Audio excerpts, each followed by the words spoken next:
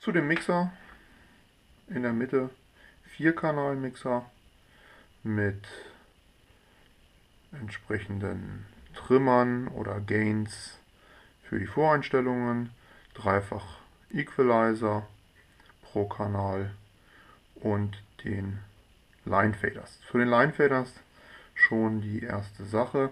Diese sind sehr schwergängig. Nichts um mal zu cutten oder ähnliches beim Scratchen mit den Line Faders definitiv nicht möglich. Der Weg ist ziemlich gering verglichen mit anderen ähm, Mixern, die einen längeren Schiebeweg haben und sie sind sehr, sehr schwergängig. Jeder Kanal kann dem Crossfader zugewiesen werden, der wiederum sehr leichtgängig ist für einen solchen Mixer. Ich kann ihn hier komplett mit einem einfachen Tick rüberschießen. Die Curve ist einstellbar hier an der Front zwischen einer sehr engen Curve und einer sehr weiten Curve. Insofern der ist scratch-tauglich, ähm, wenn natürlich auch nicht auf dem Level eines DJM 909 oder ähnlichem. Die einzelnen Kanäle können vorgehört werden. Es bestehen die Möglichkeit, einen 6,3 oder 3,5 Kopfhörer an der Front anzuschließen, entsprechend mit dem Level. Aber ich denke, das kann man auch dem Handbuch entnehmen. Ich werde jetzt mal zwei Songs laden und dann werden wir weitersehen. Die Bedienung der Library, die man jetzt nicht sehen kann, ich habe Serato DJ 1.7 laufen, kann ausschließlich über den Mixer erfolgen. Mit dem Wahlknopf in der Mitte kann man hoch und runter scrollen. Rechts geht nach unten, links rumdrehen dabei nach oben.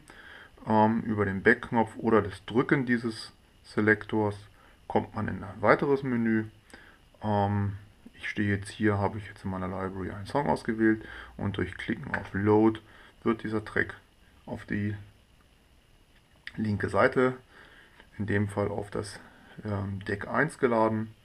Ähm, würde ich jetzt doppelt klicken, zum Beispiel auf den Track 2, ist das Instant Doubles.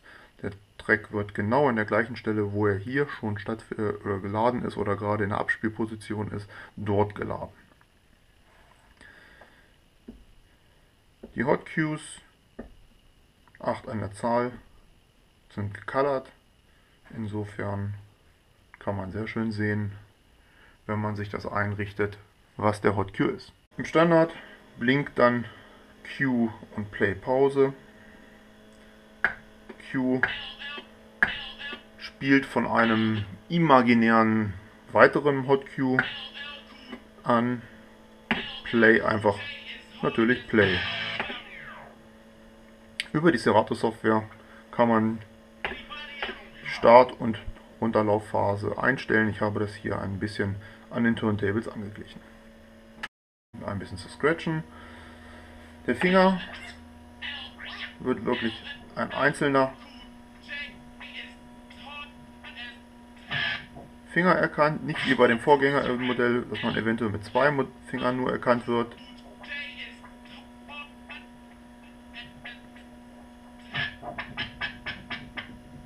Hier wird wirklich ein Finger erkannt.